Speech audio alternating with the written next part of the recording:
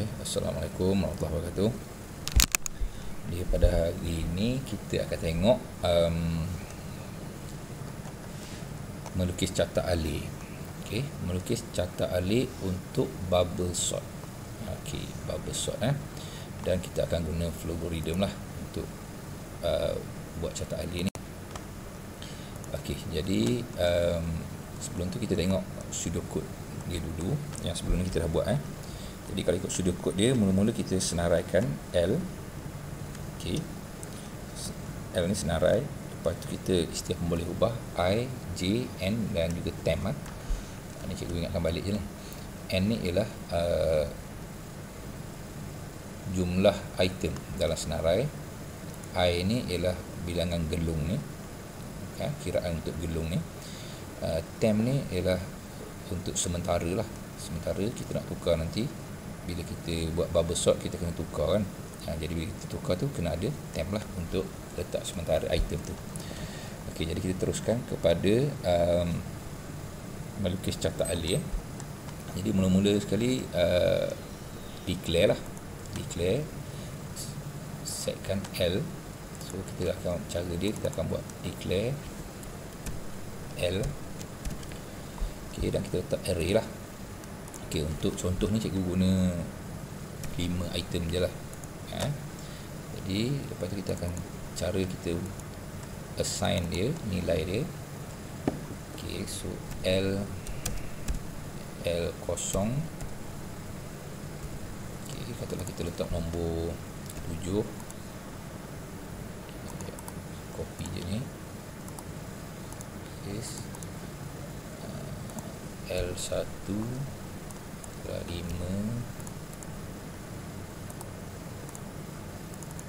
L2 tak H2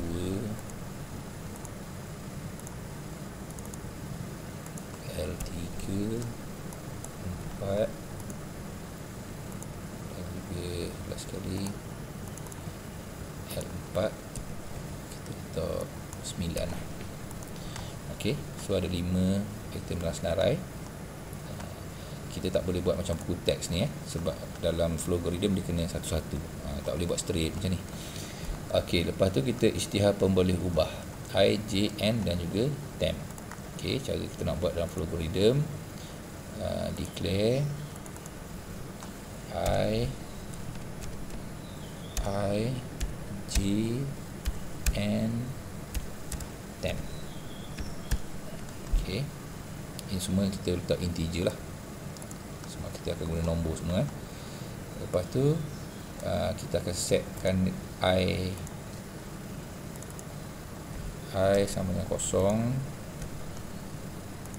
Okay. j pun untuk mula-mula ni kita akan letak di kosong juga. J sama dengan kosong. Ok n sama dengan 5 lah sebab array kita ada 5 lah so n dia 5 dan temp kita tak kosong mula-mula ni. Ok tak ada ni dah lagi kan ok seterusnya.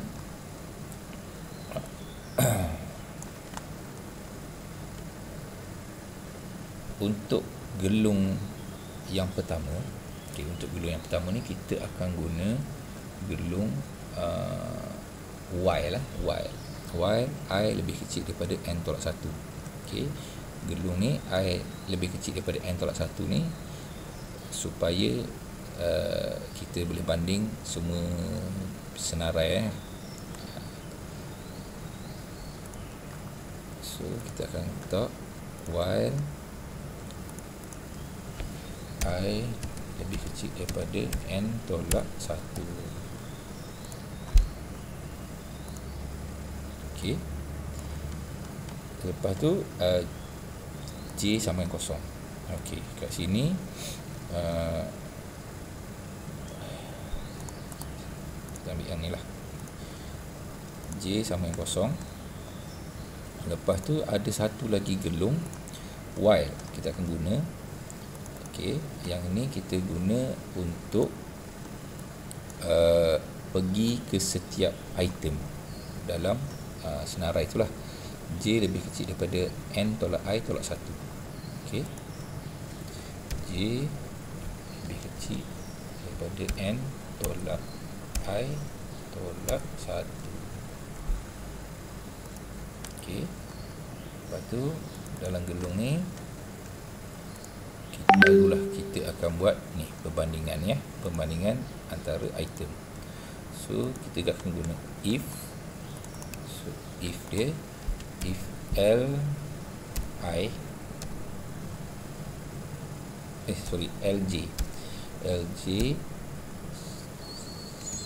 lebih besar daripada l j tambah 1 ok so L J lebih besar daripada LJ tambah 1 ni kita nak banding item yang sebelah kiri dengan sebelah kanan dia lah ok jika betul ok dekat sini kita, kita masuk uh, algoritma untuk tukar lah so mula-mula sekali kita akan letak temp sama dengan L G. Okey Ini jadi kita nak tukar kan? Bila kita nak tukar LG ni nak jadi LG tambah 1 kan? So temp ni kita simpan dulu LG Lepas tu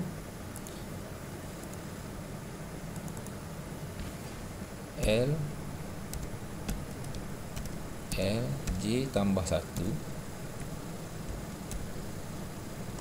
sama dengan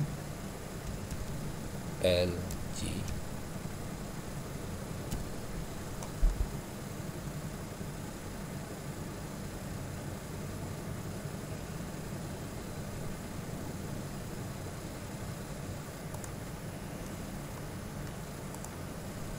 Oh silap LG sama dengan LG tambah 1 Ok LG sama dengan LG tambah 1 Okay, so sekarang ni nilai LJ ni dia akan masuk kat sini. So nilai LJ ni tadi dah hilang. Dia duduk dalam temp. So kita akan ambil LJ tambah 1 sama dengan temp lah. Ha. L J tambah 1 sama dengan temp. Okay, macam ni. Jadi cikgu ulang sekali lagi. Mula-mula temp ni nilai LJ kita letak dalam temp lepas tu ni nilai LJ tambah 1 kita masuk dekat LJ jadi sekarang ni nilai dalam temp ni kita masuk balik dalam LJ tambah 1 ha, macam tu. Ok jika dia lebih kecil ok kalau tak sama kita cuma uh, tak buat apa-apa lah ha? ha, tak buat apa-apa. Lepas tu untuk pergi ke next dia kita pergi ke J sama dengan J tambah 1 lah. J sama dengan J tambah 1 so dia akan pergi ke item seterusnya. Ok bila habis ni dalam satu senarai dia akan banding sebelah sebelah sebelah sebelah habis 5 item. So dia akan naik balik sini. Ya. Bila nak baik sini kita kena tambah air dia. So kita akan letak air sama dengan air tambah satu. Ok so dia akan naik balik jadi air ni dia akan tambah lah tambah satu lagi tu dia akan start balik untuk gelung yang kali kedua ulangan kan. Ok sampailah habis semua.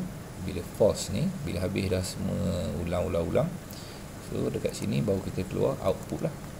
Ok output dia ok uh, L sama dengan ok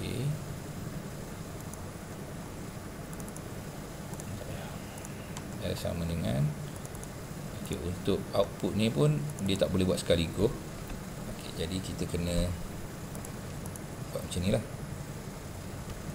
L kosong. Ok P L1 sampai L4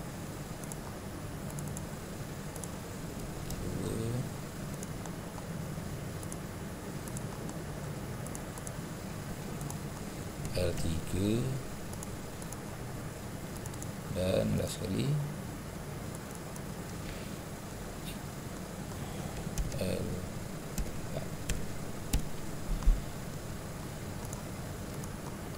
Okey. Itu kita cuba run lah. Tengok. Okey, sudah akan jadilah. L 2 4 5 7 9. Ha, macam tu.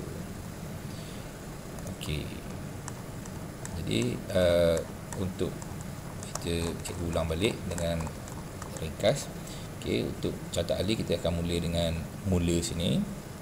Lepas tu kita declare declare uh, L senarai lepas tu kita masukkan nilai senarai tu 75249 lepas tu kita declare uh, I so I ni untuk bilangan uh, ulangan lah uh, N ni jumlah item dan tem ni untuk sementara lah untuk item sementara. Ok so while I lebih kecil daripada N tolak 1 ini ialah untuk bilangan ulangan uh, item lah. Item kita tu ada berapa jadi dia akan ulang berapa kali lah mengikut item kita tu. Ok lepas tu yang ini while yang ni J lebih kecil pada N tolak I tolak 1 ni yang ni untuk kita banding uh, item dalam senarai tu. Ok so if item sebelah kiri banding dengan item sebelah kanan dia kalau lebih besar so dia akan buka lah untuk tukar tempat ni. Kita akan guna temp yang item belah kiri ni dia masuk dalam temp. Lepas tu item belah kanan tu dia masuk dalam item belah kiri. So last sekali item belah kanan tu dia akan ambil balik nilai temp. Ok lepas tu J tambah J sama dengan J tambah 1 ni kita guna untuk pergi ke item seterusnya. Dan bila naik balik ok dia akan check sampai ujung senarai letak lagi belum. Jadi belum dia akan masuk balik if. So dia banding lagi. Ha, macam itulah bila habis dah semua dalam uh, satu senarai tu dia akan masuk pusingan kedua. Jadi bila kita masuk pusingan kedua kita akan letak I sama dengan I tambah satu. So dia akan naik balik ha, macam tu. Bila dah habis semua pusingan tu katalah lima item dia akan jadi uh, uh, pusingan lah. Empat kali kan empat kali banding. So dia akan pergi ke output. Bila habis dia akan keluar output. So output ni kita akan guna print ni lah. Ha, lepas tu tamat. Ok jadi bila kita ni 2, 4, 5, 7, 9 ok kalau kita nak susunan menurun macam mana? Kalau kita nak buat susunan menurun kita akan guna sini I lebih kecil lah. I lebih kecil daripada eh, LJ lebih kecil daripada LJ tambah 1 so dia akan pindah macam tu. Ok cuba. So dia akan jadi turutan menurun. 97542 ha, Simple je. Okay, sebenarnya mudah je benda ni. Cuma yang akan confuse sikit ni lah. I lebih kecil pada N tolak 1 ha, J lebih kecil pada N tolak I tolak 1 ni. Okay, Yang ni agak confuse sikit lah. okay, Jadi itu saja untuk um, Catat alih bubble sort okay. Jadi untuk hari ni Tidak ada latihan dulu Hari esok baru cikgu akan bagi latihan jadi itu saja. Sekian. Assalamualaikum warahmatullahi wabarakatuh.